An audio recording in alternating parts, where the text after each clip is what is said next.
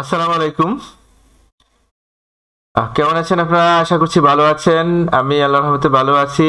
আজকে আমরা সপ্তম শ্রেণির গণিত বিষয়ের একটি নমুনা প্রশ্ন দিব যা দুই হাজার একুশ সালের প্রস্তুতিমূলক প্রিপারেশনে অন্তর্ভুক্ত।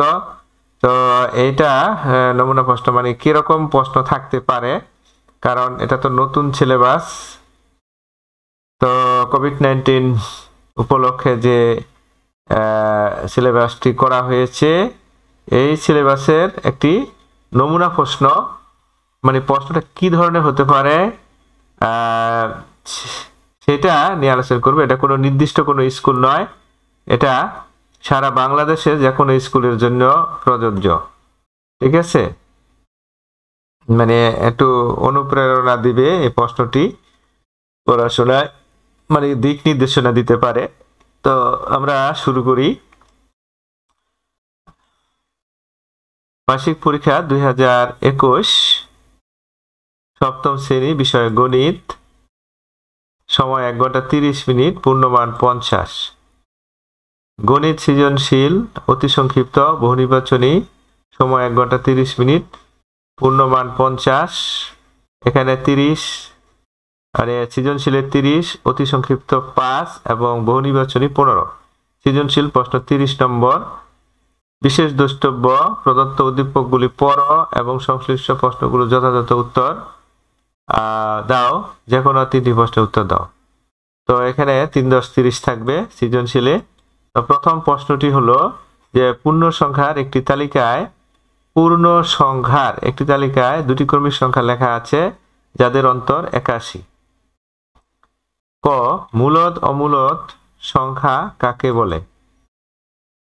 খ, সংখ্যা দুটি নির্ণয় করো। গ, যদি সংখ্যা দুটি ক্রমিক সংখ্যা না হয়ে একটি অপরটির তিন গুণ হয় এবং এদের গুণফল সাতশো আষট্টি হয়, তাহলে সংখ্যাদ্বয় নির্ণয় করো। তো এটা এক নম্বর কোশ্চেন তারপরে হলো দুই নম্বর, একটি ছাত্র হোস্টেলে কিছু সংখ্যক ছাত্র আছে, প্রত্যেক ছাত্র তাদের সংখ্যার চার গুণ টাকা ভাড়া বাবদ চাঁদা দেওয়ায় মোট চার হাজার নয়শো টাকা উঠে। ক নাম্বার, উদ্দীপকের সাহায্যে এর বর্গমূল নির্ণয় করো। উৎপাদকের সাহায্যে সরি উৎপাদকের সাহায্যে বর্গমূল নির্ণয় করো। খ নাম্বার, কতজন ছাত্র হোস্টেলে আছে? গ নাম্বার, আরও বাইশ জন ছাত্র যোগ দেওয়ায় ছাত্র সংখ্যাকে বর্গাকারে সাজানো যায় না। কমপক্ষে কতজন ছাত্র বাদ দিলে ছাত্র সংখ্যাকে বর্গাকারে সাজানো যাবে? তিন নাম্বার, এই যে প্রশ্নটা আছে, এখানে তিনটি বীজগণিত রাশি খ। দ্বিতীয় রাশির যোগাত্মক বিপরীত রাশি নির্ণয় করে ঘাতের অধক্রম অনুসারে সাজাও। খ, সূত্রের সাহায্যে দ্বিতীয় রাশিকে তৃতীয় রাশি দ্বারা গুণ করো। গ, প্রথম রাশিকে দ্বিতীয় রাশি দ্বারা ভাগ করো। তো, এখানে একটা চিত্র আছে।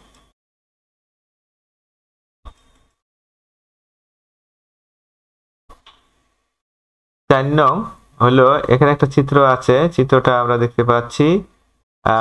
চিত্রে এবি সমান্তরাল সিডি এবং সিডি এবি সমান্তরাল সিডি এবং E P E P B. E P B হলো ষাট ডিগ্রি এবং P Q D P Q D এর সমদ্বিখণ্ডক আহ, এর সমদ্বিখণ্ডক কিউ আর। ক নাম্বার এপিই এপিই এর মান কত? এবং ডি কিউ আর ডি কিউ আর এর মান কত? নিবা নির্ণয় করো। গ নাম্বার, প্রমাণ করো যে পি কিউ আর একটি সমদ্বিবাহু ত্রিভুজ। ঠিক আছে? তো আমরা এরপর পাঁচ নাম্বার কোশ্চেন কোন বিদ্যালয়ে সপ্তম শ্রেণির ছাত্রদের গণিতে প্রাপ্ত নম্বরের গণসংখ্যা সারণী নিচে দেওয়া হলো। ক নাম্বার, সপ্তম শ্রেণি এ ছাত্র সংখ্যা কতজন? তারপরে প্রদত্ত উপাত্তের আয়ত লেখ আঁক এবং আয়ত লেখ হতে প্রচুরক নির্ণয় করো। অতি সংক্ষিপ্ত প্রশ্ন, এক নাম্বার, নয়শো বাহাত্তরকে কত বর্গের অন্তর পঁচিশ, একটি সংখ্যা বারো হইলে অপর সংখ্যাটি কত? তিন number six x square plus x minus two কে এত দ্বারা ভাগ করলে, তাহলে তিন number six x square plus x minus two কে টুয়াইস এক্স মাইনাস ওয়ান দ্বারা ভাগ করলে ভাগফল কত হবে? চার নাম্বার, দুটি বিন্দু দ্বারা কয়েকটি সরলরেখা আঁকা সম্ভব। দুটি বিন্দু দ্বারা কয়টি সরল রেখা আঁকা সম্ভব? পাঁচ নাম্বার, পরিসংখ্যানের কোন উপাত্তের নির্ভরযোগ্যতা অনেক বেশি? তো এরপরে আসছি আমরা বহু নির্বাচনী অভিক্ষা বা বহু নির্বাচনী প্রশ্ন যেটা, পরীক্ষা। সেটা হলো এখানে তো নিয়ম কারণ আমাদের জানা আছে। প্রত্যেকটা প্রশ্নেরই উত্তর দিতে হবে। এখানে প্রত্যেকটা প্রশ্নের চারটি করে অপশন আছে। তো সেখান থেকে যে সঠিক উত্তরটা দিতে হবে। চৌষট্টি এর বর্গমূল কত? তো চৌষট্টি এর বর্গমূল কত? উত্তর যেটা লিখতে হবে। তারপরে সাতচল্লিশ হাজার উনানব্বই সংখ্যাটির বর্গমূল কত অঙ্ক বিশিষ্ট হবে? নিচের কোনটি অমূলত সংখ্যা? এখানে প্রশ্ন উত্তর দেওয়া আছে। নিচের কোনটি অমূলত সংখ্যা? Root over five root over বাহাত্তর root over nine four by nine root over মানে উনপঞ্চাশ বাই সাত। তো এখানে এখানে বারো এ স্কোয়ার এক্স একে six a six a square দ্বারা ভাগ করলে কত হবে? ঠিক আছে? তো নাকি গুণ করলে? গুণ করলে কত হবে? খরাটা হবে। হুম।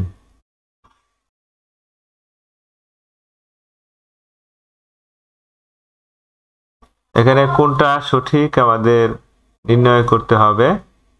এখানে এই যে, এখানে এক্স কিউব আছে এক্স কিউব এখানে minus six a x cube তারপরে এই যে একটা সংখ্যা এখানে four a to the power four minus six x cube plus three a plus fourteen একটি বীজগণিতীয় রাশি।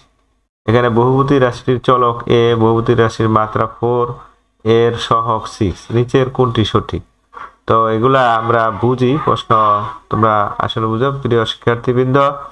যারা আছো, তোমরা একটু মনোযোগ সহকারে দেখে বুঝে মানে প্রশ্নটা এই ধরনের থাকবে, প্রশ্ন তো এটা আর থাকবে না, তাই না? মানে এই এরকম পনেরোটি এমসিকিউ থাকবে পনেরোটির উত্তর করতে হবে।